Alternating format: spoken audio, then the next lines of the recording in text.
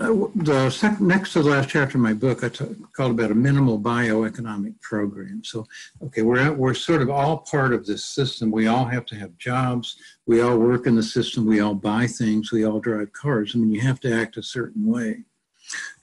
Uh, people who are more secure economically, studies have shown, are more likely to be more empathetic to others and more willing to support public policies that, uh, you know, to increase fairness in the economy and so on. So it seems to me if you have some basic progressive programs, you know, universal health care, uh, minimum income, uh, guaranteed education, secure old age programs. People are more secure. They don't have to worry so much about temporarily losing their jobs or whatever. They would be more more sympathetic to policies that begin could begin to get us off uh, this sort of a you know runaway train that we're on.